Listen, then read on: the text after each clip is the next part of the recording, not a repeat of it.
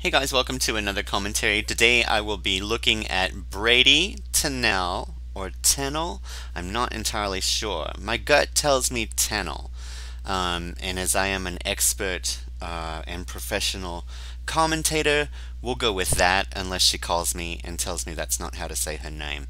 Um, but we're looking at the women's figure skating at the U.S. Nationals 2020, which happened in January, or at least the videos were all uploaded in January. So there we go, right before COVID, so she seems very happy.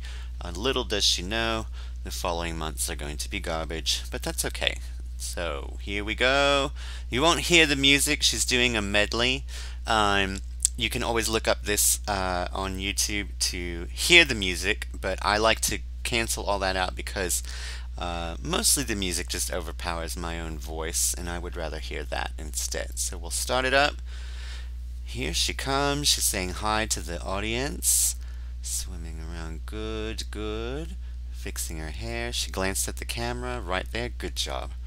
Just to get our attention. Here she goes. Oh, she's like, oh, my back hurts to fool us because she's about to do something incredible, I bet. And music has started.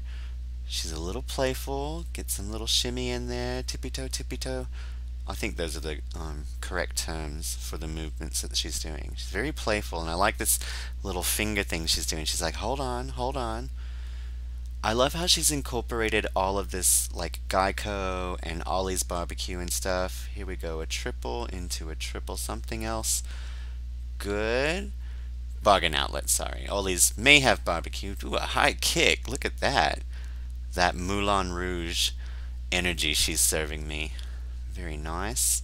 She's throwing up. She threw it up and then looked at it. This is a performance, you guys. She's not just doing this, she's performing it. Here she goes.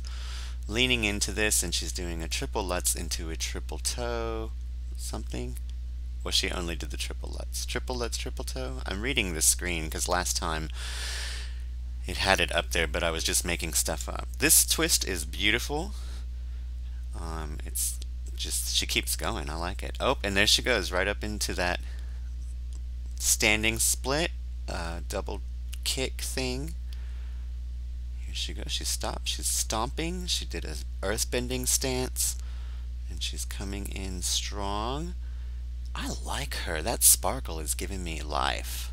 Here she comes. Here she comes. And serving me a double axel rise. About now. There you go. Good job. It's a layback spin 4 or a quad layback spin or something like that. I think this screen is just making me sound stupid, so I'm just going to go back to making up these moves. There's a lunge and a ha and a throw and a spin. And that was a beautiful combination. She said, boom. Serving me twisty tornado. Giving me twister energy right there, throwing it out. This audience, I can tell, is just mesmerized, and I am too. Beautiful. She's going, see, I love how she's turning clockwise and then counterclockwise without falling. There she goes. Ha! Kick into a interesting spin. She jumped into another spin. That's a that's a contortion Cirque du Soleil spin right there and she's doing a Kill Bill move right there. That's a T-spin is how I think it's supposed to be called. And she's, oh, I love that wild kind of I'm drunk thing that she did with her hand. Let's go back and look at that real quick. She's coming into that very control. Hold on, hold on, girl. Hold your liquor.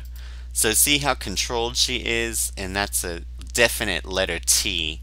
And then when she goes down into the crouch, she just throws her hand up like she just, you know, did a couple shots. There she goes into the tequila spin right there. Look at that. Gorgeous. Into a kick kick. Pamcheko pulling up like you're trying to get your shoe off, but then she fooled us and she ended it right there. That is so good. Did you see that? I love that last part where she's like, I'm going to take off my shoe. Ended the performance right there. Very good. Oh my gosh, that is beautiful. She said, Thank you very much for coming to my show. Love you guys. Thank you guys too. Everybody over here. Thank you. Hi. Thank you. Excellent. And you guys over there are pretty great. Love it. And I like you guys too. Thank you so much. I love the way they just are so gracious. And here comes her staff. She's so independent, picking up her teddy bears by herself. And some flowers. She said, Thank you, thank you, Julie.